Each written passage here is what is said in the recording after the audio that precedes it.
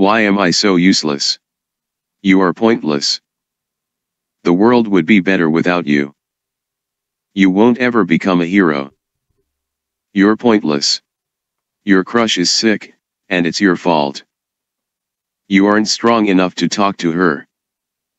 You useless wimp. You're better off being a villain. Shut up. Deku is down the hall on his way to talk to Bakugo. A loud boom is heard. Fuck. I should just end it already. I have no point being here. I can't help anyone. Katsuki. What do you want Izuku?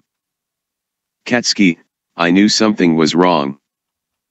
The SCP bear was right, you need help. There is a hole in the wall. Holy shit dude. Your fist is broken. No shit. You're used to this right? I don't fucking belong here. I never have. Katsuki. No Izuku. You become number one for me, I'm going home. No. You and the rest of 1A are the only reason I am still trying. I was the reason you nearly gave up. I bullied you, insulted you.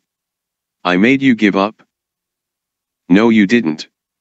I still chase the dream of us having hero agencies. We are best friends, and if we can't both be heroes.